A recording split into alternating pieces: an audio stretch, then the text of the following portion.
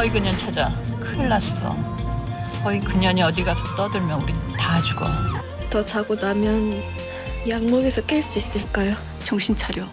그들보다 더 독해지지 않으면 그들을 이길 수 없어. 누구시죠? 사진을 안 파시겠다고요? 안 그럼 최설 씨가 영영 잠적하고 싶다네요. 경찰에 가기가 죽기보다 싫어서.